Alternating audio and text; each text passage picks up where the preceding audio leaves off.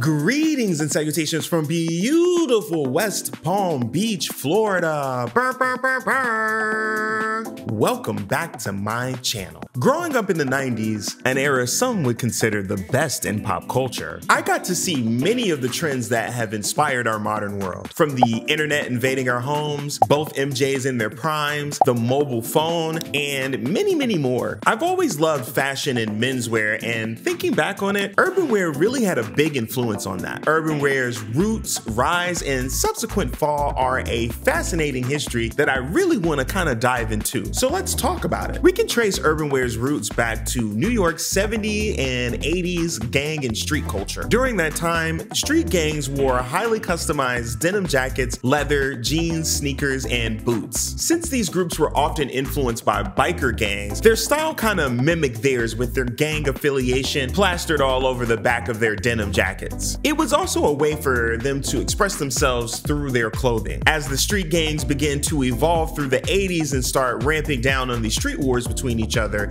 they found new ways to battle. Here we can see hip hop in its infancy. Crews went from street fights to dance battles, trading their tough leather jackets and denim jeans for Adidas tracksuits in bright colors, and of course, they had to have the shell toes to match. Sportswear became the uniform of hip hop as the 80s winded down and the major players were Polo and eventually the scrappy upstart Tommy Hilfiger. Both were at the forefront of street fashion, supplementing their classic tailoring and Hamptons yacht style for bold, colorful, maximal, graphic laden design. Their fresh new approach resonated with hip hop and the streets as much as it did their core yuppie audience. Ralph Lauren shunned the love from the hood while still reveling in the free advertising and increased profits, but Tommy and his team embraced it. They directly partnered with some of the biggest names in hip hop at the time and were known to just pull up to the hood with some up and coming MCs at the time with care packages. This marked the beginnings of urban wear as we know it. A young Carl Jones who had already founded Surf Fetish, a surf culture inspired brand, entered the chat. You see, there was a style shift in urban communities and by proxy in hip hop. Straight leg and bootcut denim dominated in the 70s and 80s, but now the street favored more baggy silhouettes. Carl noticed in order to achieve this look, people were just buying their pants and shirts a few sizes too big. As a result, they were too big in the areas that you really need your clothes to fit, like your waist and your shoulder. Carl decided that he had the cure, building his product from the ground up with the urban consumer in mind. His pants were baggy, but they still fit in the waist. It was the same with his shirts, finally giving the urban customer exactly what they were looking for. He named his label Cross Colors, and with the help of graphic designer Thomas Walker, together they set out to create a brand focused on positive and anti-racism messaging. Cross Colors was able to grow by partnering with some of the biggest artists in hip hop at the time through their ad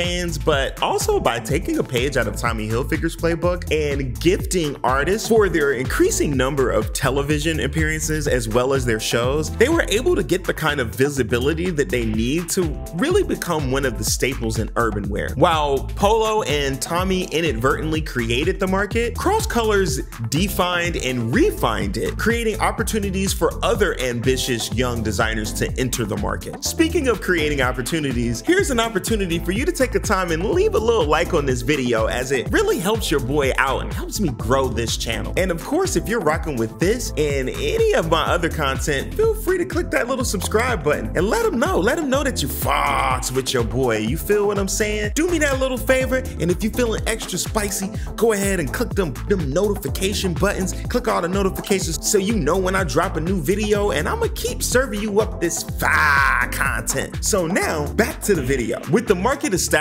we started seeing those early players of the 90s like Karl Kani, who probably needs his own separate video detailing the rise of his label, Maurice Malone, Pelle Pelle, which predates Cross Colors by nearly a decade, Mecca, and more. Simultaneously, more established brands like Nautica, DKNY, and Guess were subtly embracing urbanwear's influence, creating sub-labels designed to directly compete with this emerging market. As hip hop grew in mainstream popularity, so did urbanwear. With these labels that were often regulated to just local mom and pop shops, now being featured in big department stores like Macy's. With millions of dollars being generated from urbanwear's growing popularity, this set the stage for hip hop to take a more direct approach. By the time we reached the mid 90s, we saw the rise of the rapper owned clothing line. Taking notice of how much their own influence and star power generated for these brands, while also having an affinity for fashion and style themselves, rappers started founding their own labels. There was Russell Simmons with Phat Farm and later Baby Phat, which was founded by his then wife, Kimora Lee Simmons. Phat Farm set the tone,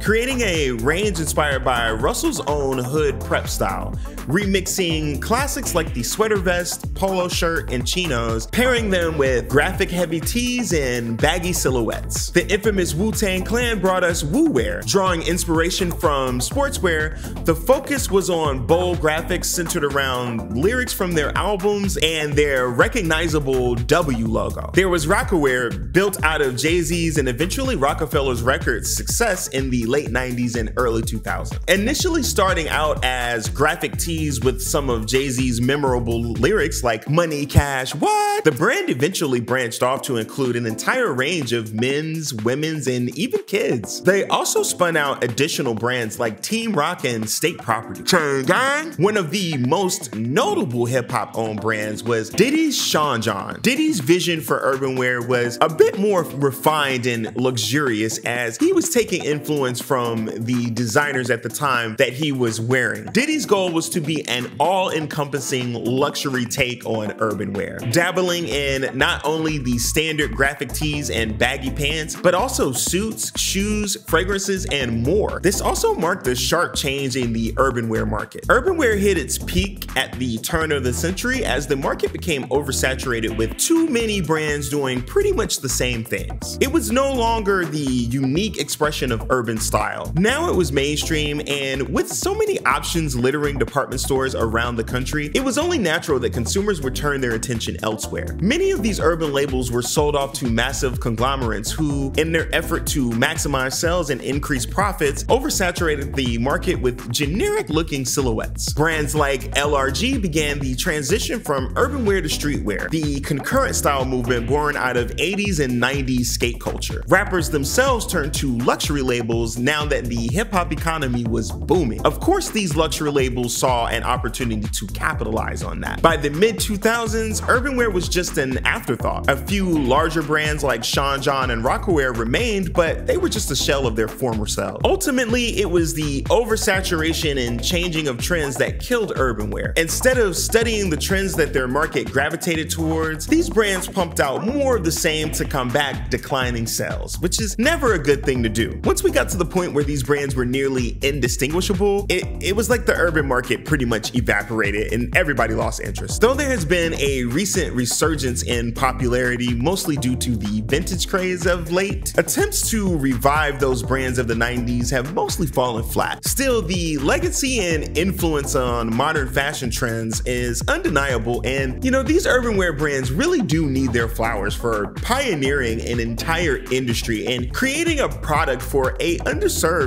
market. It really is sad to see such influential brands suffer such a terrible fate, but it happens. It just it's just the up and down of the market. It's it's the things that you like today may not be the things that you like tomorrow, and that's perfectly cool. Still, I, I really wanted to talk about these things because as we move further and further away from their peak, which was you know mid late 90s, maybe early 2000s, these things kind of get forgotten and get recycled as something quote unquote new. So I just wanted to put this out into the world so that it exists. So maybe somebody like me who was looking around for more information about this will find this video and have something to look at. Obviously, there is a ton, ton, ton of detailed information that I left out. I, I couldn't just talk about literally everything. Otherwise, this video would have been extremely long and I just wanted to do the basics. But if y'all are vibing with this, I definitely recommend that you watch this video that I did on the most radical Jordan brand commercial, which kind of falls in line with this kind of conversation about urban wear. And you can check that out up next.